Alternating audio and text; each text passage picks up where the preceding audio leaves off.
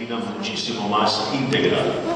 Eh, hablábamos antes eh, de, la piel, hemos hablado, como he dicho, de las estructuras más profundas, hemos hablado del hueso, hemos hablado de las estructuras debajo de la piel, músculos, fascias, tejido graso, y estamos eh, hoy tratando la piel. Pero también tenemos que pensar que el paciente, cuando se va a la consulta, nos pide de alguna manera que en casa debe también de de seguir con algún tratamiento. No podemos eh, dejarla eh, abandonada, ni solo tenemos que pensar que los tratamientos los realizamos en nuestra consulta, sino que tiene que tener una prolongación nuestro, nuestra consulta hacia, hacia la casa del paciente. Entonces la doctora nos va a hablar de la experiencia que tiene con, las cremas y con tratamientos que se personalizan y que realmente son muy interesantes por eso, porque se personalizan va a explicar. Adelante, doctora. En primer lugar, eh, quería agradecer al doctor Javier Benito por haberme ofrecido la posibilidad de participar en este congreso y les voy a hablar sobre cómo contribuyen los tratamientos anti-aging a mejorar el aspecto facial.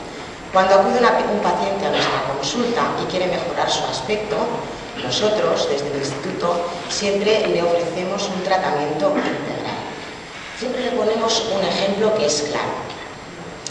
Por ejemplo, cuando nosotros llevamos un coche al taller, en primer lugar interviene el chapista, que en nuestro caso es el cirujano. Posteriormente hay que darle una mano de pintura y ahí es donde interviene el Departamento de Medicina Estética y realizamos todos los tratamientos médicos como pueden ser el tratamiento con láser, con peelings, con mesoterapia o infiltración de vitaminas la toxina botulínica y los rellenos y fillers.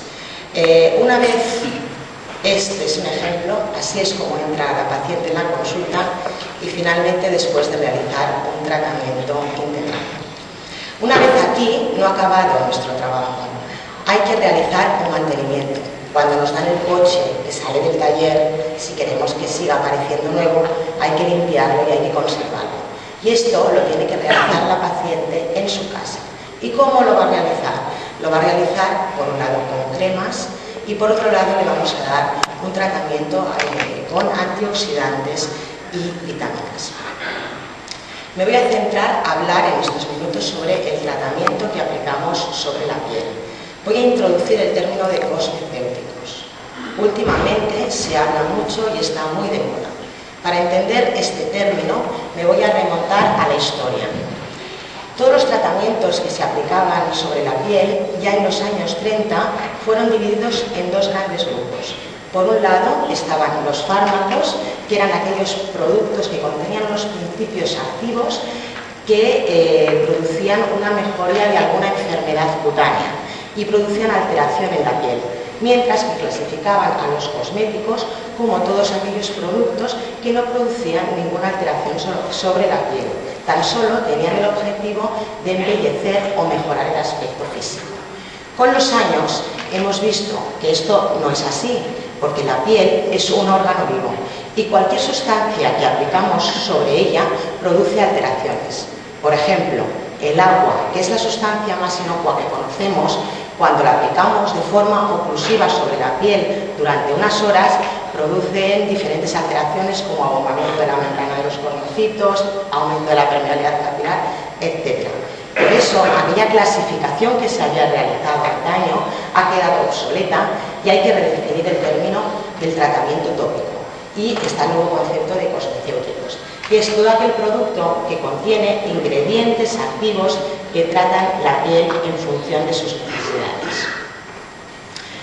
Eh, los cosmocéuticos, aquí les voy a presentar los principios activos, tranquilos que no me voy a detener a explicarles uno por uno, pero detrás de todos estos principios activos hay estudios que nos demuestran que mejoran diferentes alteraciones de la piel. Mi experiencia como médico me dice que los pacientes no utilizan un tratamiento cosmético adecuado y eh, está en nosotros el hecho de que esto cambie porque yo creo que a partir de ahora hay que incluir como un acto médico más el tratamiento cosmético. Les voy a poner un ejemplo y para ello les voy a presentar a dos miembros de la misma familia. Está la señora María y su hija Anita. La señora María y su hija Anita, ambas tienen una piel con tendencia grasa, pero como ustedes pueden comprobar, la piel de la señora María tiene unas necesidades totalmente diferentes que la piel de su hija. Esta piel no va a tener las mismas necesidades cuando se vaya un mes de vacaciones al Caribe que cuando estén el resto del año en su casa. Por tanto, creemos que el tratamiento cosmético se debe personalizar. Hasta el momento actual teníamos mm, un problema porque no teníamos unos cosméticos que nos permitieran realizar esto. Ahora yo les quiero presentar un tratamiento cosmético que nos permite personalizar de forma individualizada los distintos productos de una forma sencilla. Son los productos americanos que se llaman Prescribe Solutions, que son cosméticos, que son de uso exclusivo médico, que nos permiten formular de forma personalizada para cada piel y para cada momento. Por ejemplo, cuando la señora María se vaya al Caribe, nosotros le vamos a preparar una crema específica para el tiempo que esté ella mientras está de vacaciones. Eh, con esto personalizamos el producto. ¿Cómo lo hacemos? Añadimos al producto base un eh, principio activo que refuerza el problema que nosotros queremos tratar. A este principio activo que refuerza el problema que queremos tratar lo denominamos booster. Esto nos permite que tengamos múltiples formulaciones y múltiples propuestas de tratamiento y es cómodo y sencillo para utilizar tanto para los pacientes y para los médicos, ya que finalmente la paciente simplemente utiliza su limpiador, su serum, su crema hidratante y su crema de noche.